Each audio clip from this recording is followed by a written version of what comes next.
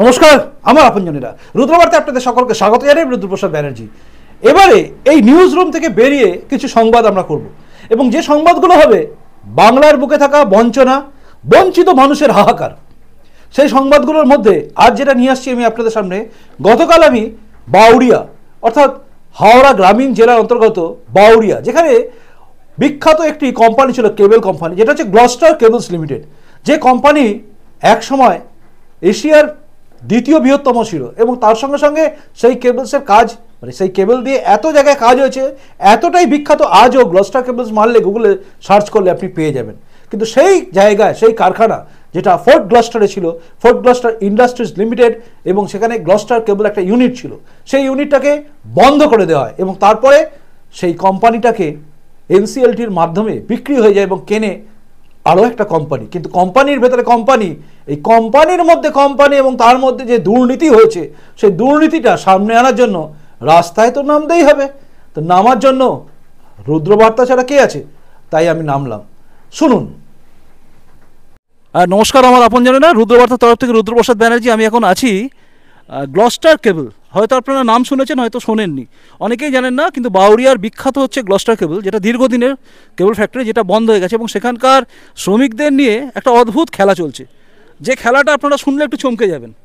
মানে এই রাজ্যে যে এমন কিছু খেলা হচ্ছে, যে খেলাগুলো কোথাও ইউনিয়ন, কোথাও অন্য কিছু, সব যেন মিলেমিশে একাকার কিন্তু আসল জিনিস হচ্ছে, যে সমস্ত শ্রমিকরা যারা কাজ করেছে, তারা বঞ্চিতকে বঞ্চিতই রয়ে গেছে।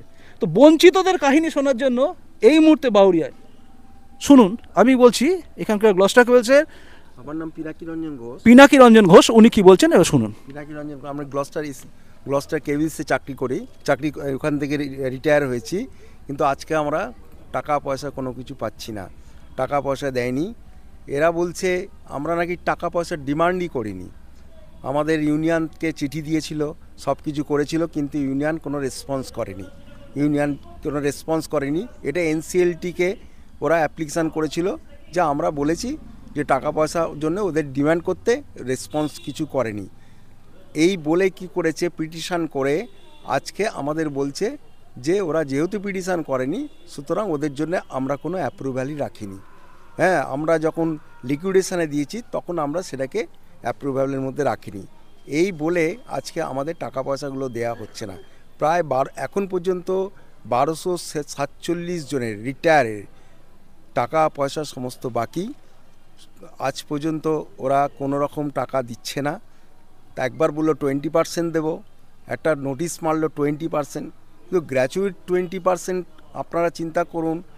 এবং শুধু নয় এনসিএলটি থেকে অ্যাপ্রুভাল নিয়ে চলে এসেছে যে গ্র্যাচুইটি টোয়েন্টি পার্সেন্ট দেবেন। হ্যাঁ গ্লস্টার কেবিলসের ইতিহাস কিন্তু খুব সুন্দর। এবং অনেকেই জানেন যে এশিয়ার মধ্যে দ্বিতীয় বৃহত্তম কেবিল, দ্বিতীয় বৃহত্তম কেবিল কারখানা যেটা হান্ড্রেড মানে থার্টি টু কেবি কেবিল এরা তৈরি করতো সেইখানকার আমরা কর্মচারী। আমরা কোনো দিন ভাবিনি যে এইখানে চাকরি করে আমরা টাকা পয়সা পাবো না।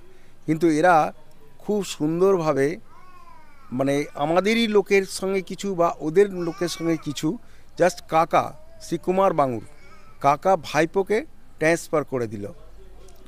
নাম কি? হেম- হেমন্ত বাঙুরকে হ্যান্ড ওভার করে দিল। যেটা লিকুইডেশন অ্যাক্টের এটা প্রতিবন্ধী। কেন একই ফ্যামিলির মধ্যে কোনো সময় লিকুইডেশন এইভাবে হতে পারে না। চেঞ্জ অফ ম্যানেজমেন্ট হতে হবে। সেখানে ম্যানেজমেন্টও চেঞ্জ হয়নি। কোনো কিছু হয়নি। কিন্তু লিকুইডেশন অ্যাক্ট এটা পুরোপুরি মানে ইয়ে নয়। লিকুইডেশন অ্যাক্ট মানে এরা বাঙুর ব্রাদার্স এরা বিড়লাকে বেচবে। এরা এরা টাটাকে বেচবে।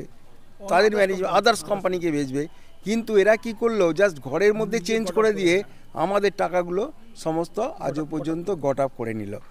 এবং আরেকটা খুব দুঃখজনক ঘটনা মানে আমাদের সঙ্গে কীভাবে মানে এরা মানে ফ্রডই বলব দু হাজার চোদ্দ সালের এগারোই সেপ্টেম্বর সমস্ত ইউনিয়নের সঙ্গে চুক, এরা এই যা গ্লস্টার লিমিটেড এগ্রিমেন্ট করল যে আমরা যদি এই কারখানাটা নিই তাহলে তোমাদের টাকা, পয়সা, মলয়, মিস্টার মলয় ঘটকের ডিপার্টমেন্টে সমস্ত অফিসিয়াল থেকে এগ্রিমেন্ট করা হয়েছিল।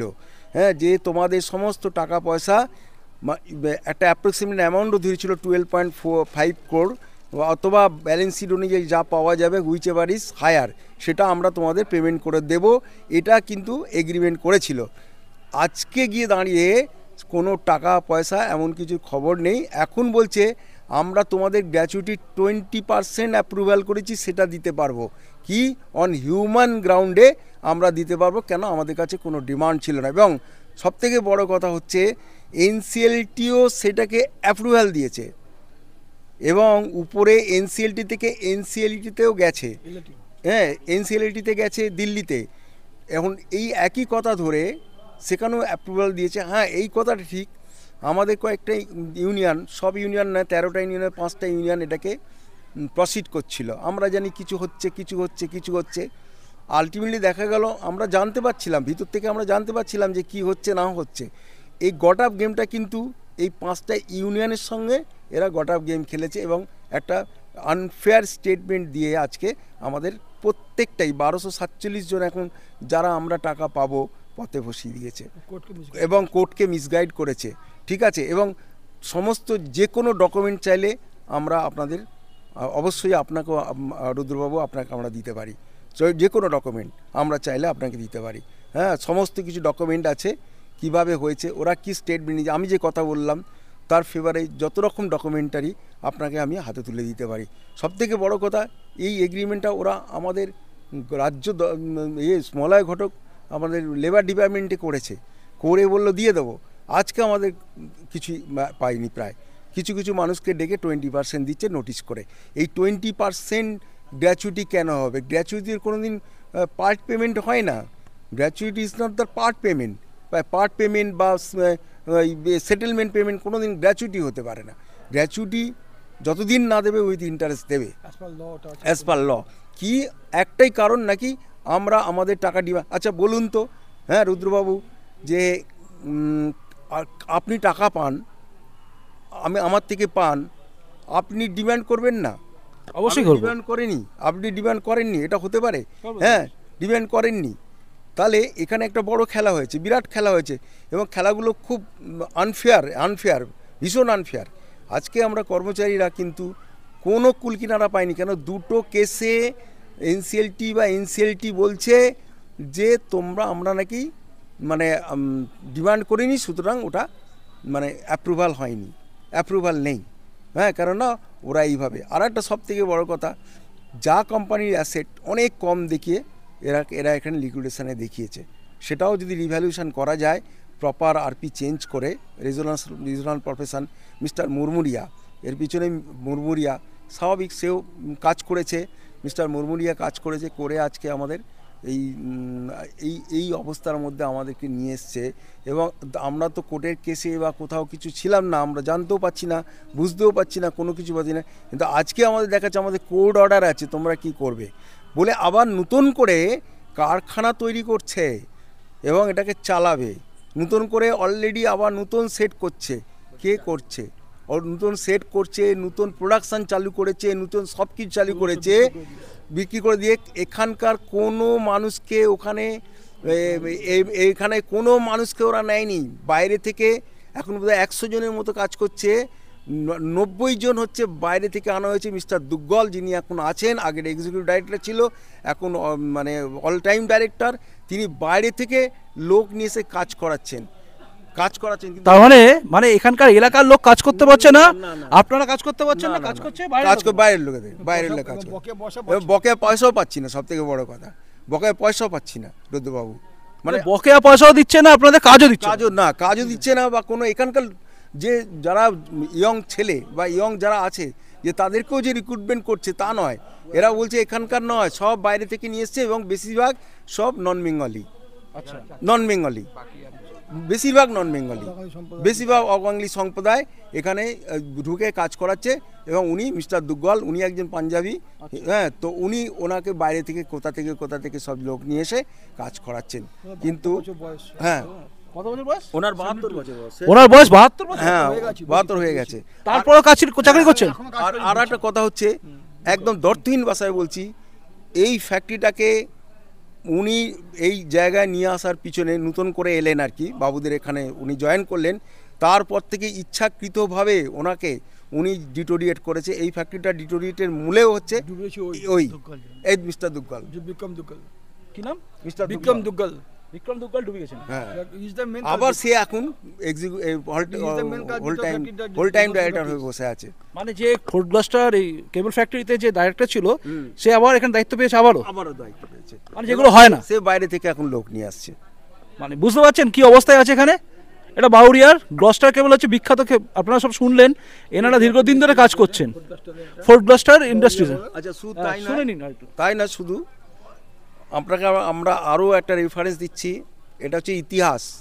প্রথম বাউরিয়ায় বাউরিয়া কটন মিল প্রথম ভারতবর্ষের মতো প্রথম কটন মিল হচ্ছে বাউরিয়ায় ঠিক আছে? সেই কারখানার ছ হাজার মানুষকে এরা ডিপ্রাইভ করেছে। ছ হাজার মানুষকে ডিপ্রাইভ করেছে। এখন শুনছি আমরা কিছু কিছু করে তাদের ডেকে একটু আধটু করে টাকা দেওয়া হচ্ছে। এরকম একটা শোনা কথা আমার, আমি গ্যারান্টেড নয়। মানে ছ হাজার মানুষকে এই একটা ঐতিহাসিক ইতিহাস যেটা আমরা ইতিহাসেও পড়েছি যে গ্লস্টার কেবিল হচ্ছে প্রথম এটা অনেকেই জানে। আমাদের গ্লস্টার কেবিলসটাও কিন্তু একটা ইতিহাস কেন এশিয়ার মধ্যে দ্বিতীয় বৃহত্তম কেবিল হাই প্রফিটেবল কেবিল আমরা এখানে উনিশ পার্সেন্ট পর্যন্ত বোনাস দেওয়া হয়েছে আমাদের একটা সময় সাড়ে উনিশ পর্যন্ত বোনাস দেওয়া হয়েছে মালিক দিয়েছে।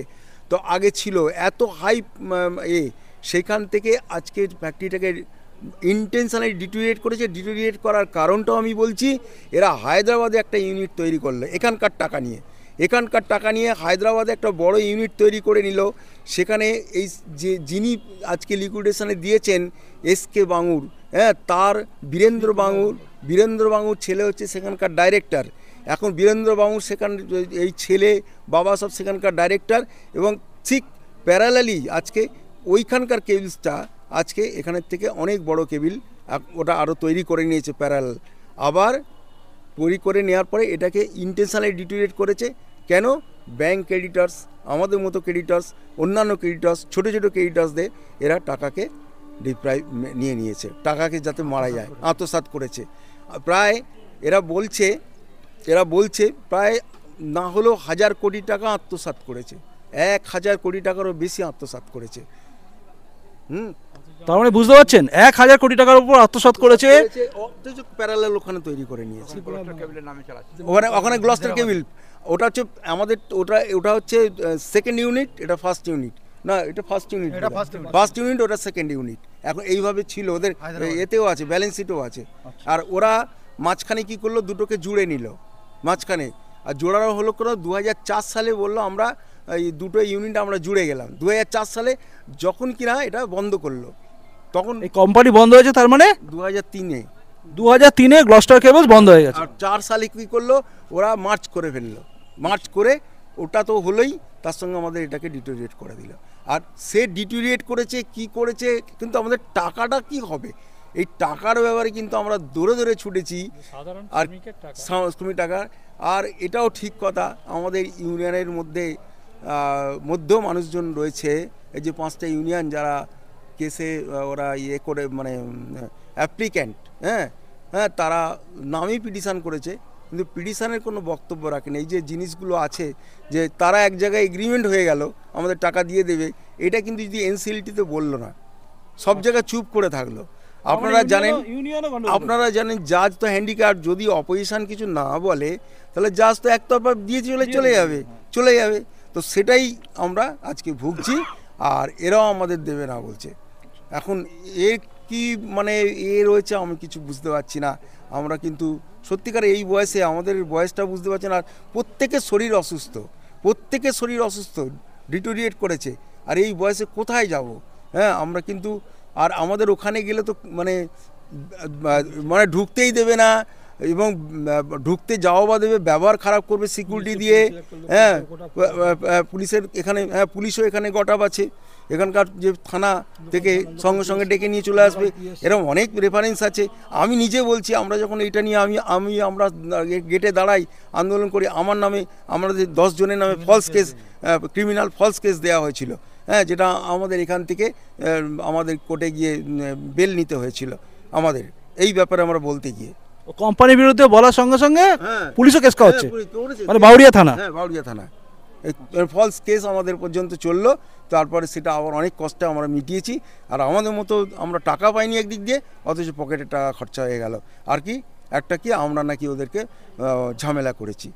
কেউ ঝামেলা করার কোনো এ ছিল না প্রমাণও করতে পারেনি। শুধু পিটিশান করল দুটো একটা দুটো হিয়ারিংয়ে গেল কিন্তু আর কোনো হিয়ারিংয়ে এরা উপস্থিতি হলো না মানে প্রমাণই করতে পারল না। তখন কেস কি চলছে না বন্ধ হয়ে গেছে? না আমার বন্ধ হয়ে গেছে ম্যাজিস্ট্রেট একতরফাভাবে এ করে দিয়েছে। হ্যাঁ ঠিক আছে? পুলিশ করে দিল কেস। হ্যাঁ। এবং এই এই ভয়টাও কিন্তু একটা এখানে প্রচণ্ডভাবে কাজ করছে এই এলাকাতে। যে মানে তার মানে কোম্পানি টাকা দিচ্ছে না তার সঙ্গে সঙ্গে একটা পুলিশ মহলেরও চাপ। মানে কেউ যদি দাবি করে ফ্যাক্টরির সামনে গেলে সেখানে পুলিশেরও দাবি। মানে চাপ। মানে কোন রাজত্ব ভগবান জানে। তো এই ব্যাপার হয়ে আমাদের দাঁড়িয়েছে। হ্যাঁ আমি আরও ভালোভাবে বলছি সমস্ত কিছু ডকুমেন্টারি যা যা আছে এগুলো কিছু কিছু আমরা সমস্ত জোগাড় করতে পেরেছি। মানে এই আমার কথার সাপোর্টে আমি আপনার হাতে তুলে দেবো। অবশ্যই, আমি সামনের সপ্তাহে আবারও আমি এনাদের সঙ্গে মুখোমুখি হব এবং হয়ে পুরো বিষয়টা আমি আপনাদের সামনে তুলে ধরবো। অর্থাৎ আপনারা বুঝতে পারছেন যে পশ্চিমবঙ্গের কোনায় কোনায় এরকম কিন্তু গণ্ডগোল হয়ে রয়েছে। মলায় ঘটক, যদি আপনি শোনেন মলয়বাবু খুব কান খুলে শুনুন, এই যে অভিযোগটা আসছে এখানে আপনিও ছিলেন কিন্তু। এবার আপনি ভাবুন, আপনি কি করবেন? আপনি কি বলবেন হ্যাঁ না না বলবেন সেটা আপনার ব্যাপার, কিন্তু কোনোদিনই শ্রমিক মিথ্যে কথা বলবে না। আর এই মিথ্যে কথা বলার লোকগুলো মালিক পক্ষই হয় আমরা সবসময় জানি।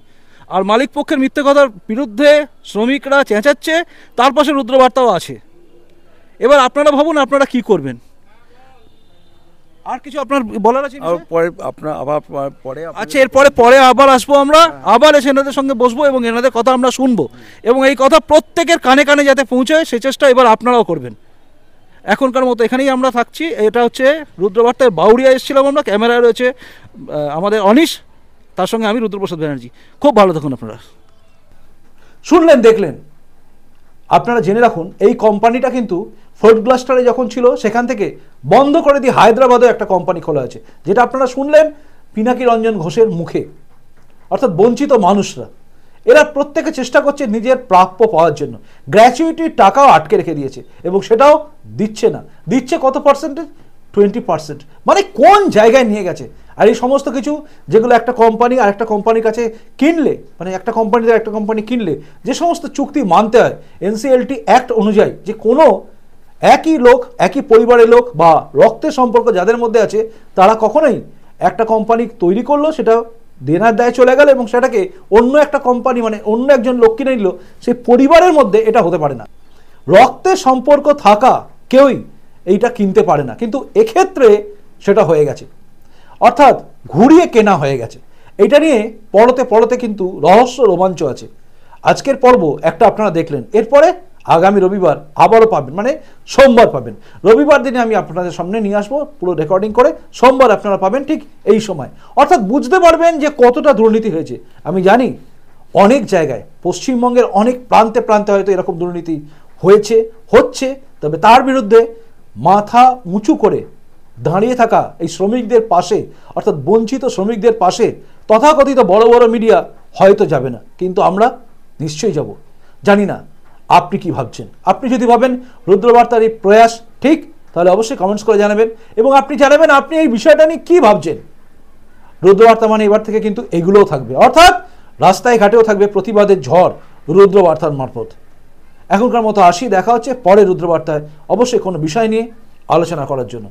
এবং যদি মনে হয় এরকম একটা চ্যানেল যেখানে এই সমস্ত কিছু থাকে যদি মনে হয় সেটাকে সাবস্ক্রাইব করা যায়, তাহলে অবশ্যই চ্যানেলটা সাবস্ক্রাইব করবেন এবং আমার পাশে থাকবেন আমার আপন জন হয়ে। আর হ্যাঁ আপনার এলাকার সমস্যা অবশ্যই জানাবেন। চেষ্টা করব সেখানে আমি পৌঁছাতে। খুব ভালো থাকুন। নমস্কার ভারত মাতার জয় হোক। জয় হিন্দ।